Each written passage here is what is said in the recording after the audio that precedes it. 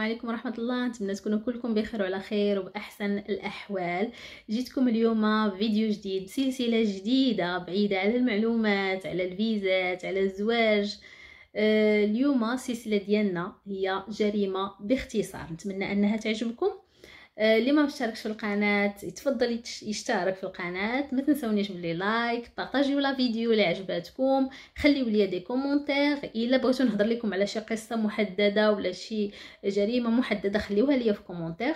اليوم جيت نهضر لكم على صياد العزبات أخطر مجرمي فرنسا. صياد العزبات كيخطف كيقتل البنات بالمساعدة ديال الزوجة ديالو. تيتحول من أب في النهار لسفاح في الليل زرع الخوف والرعب في القلوب ديال الآلاف الفرنسيين البشاعه الجرائم ديالو. شكون هو؟ ميشيل فورنري. ميشيل فورنري التهمة ديالو هي اغتصاب تسعود ديال البنات والقتل ديالهم. هادشي بالمساعدة ديال الزوجة ديالو. ميشيل كان عنده طفولة عادية آه، ما كانش عنده أي ظروف قاسية ما كانش كيعاني من تعذيب ما كانش عنده سلوك إجرامي تزوج جوج ديال المرات لكن قوة الخيالات والميولات المنحرفة ديالو بالنسبة للبنيتات البنات الصغار كانت هي السبب في الطلاق ديالو جوج ديال المرات.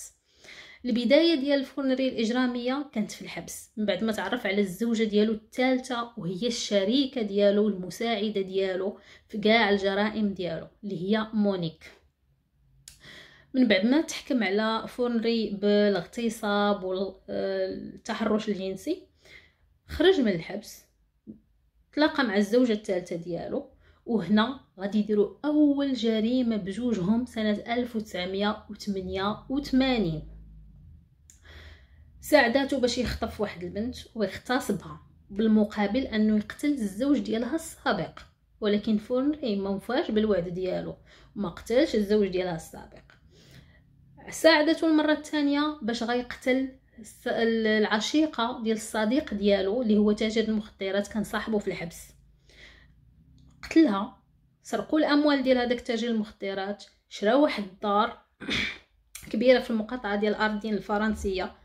اللي شهدت على بزاف ديال الجرائم ديالو اللي الصحف ولات كتكتب عليه وبدات تقول أنه وحش اردين هذاك التاجر المخدرات حاول الملاحقة ديال فورني لكن فورني ومراته هربوا لبلجيكا وعاشوا على بعد بعد ديال العشرة ديال الكيلومترات من الحدود مع فرنسا.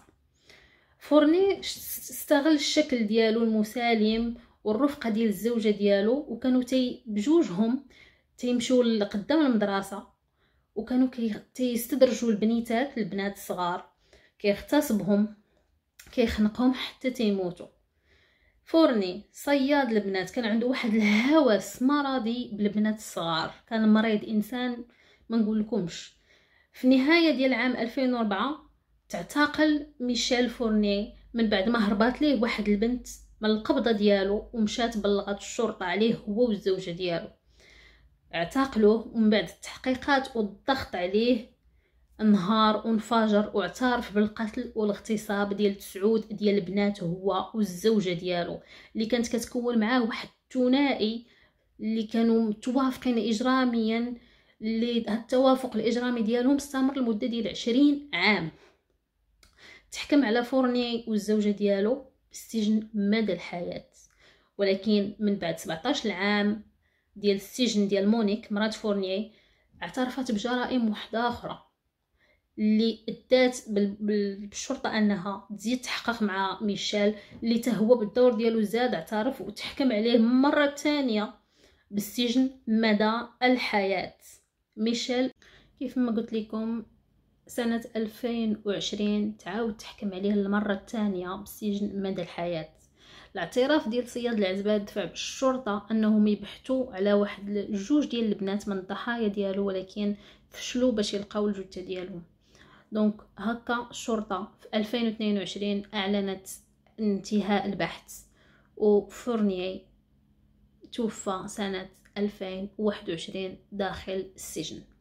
رغم أنه ما دخلش في القائمة ديال القتلة المتسلسلين رغم أنه عنده عدد كبير ديال القتلة ولكن تصنف آه كمجرم مرعب اللي رعب التاريخ ديال فرنسا لواحد المدة ديال عشرين عام. هنا سالات الجريمة ديال اليوم. اتمنى أن الفيديو يكون عجبكم. خليتكم على خير ونتلاقاو في جريمة واحدة أخرى. مع السلامة.